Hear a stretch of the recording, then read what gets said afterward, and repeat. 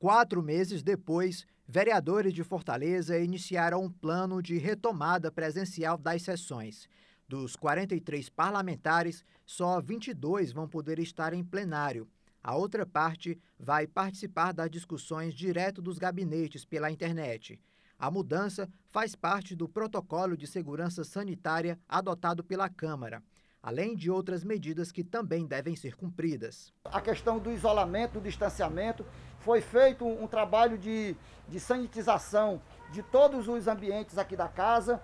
O prefeito Roberto Cláudio participou virtualmente da reabertura dos trabalhos, fez um balanço da gestão e projetou os próximos anos na capital. Fecharemos esse ano com mais de um bilhão de reais de investimento e deixaremos em caixa para o próximo prefeito ou prefeita mais de 800 milhões de reais em caixa para investimento.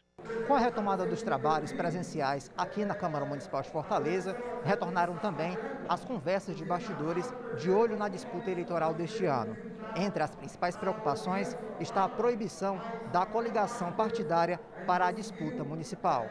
Isso porque neste ano, uma das novidades é que só são permitidas chapas de um só partido para disputa pelo cargo de vereador.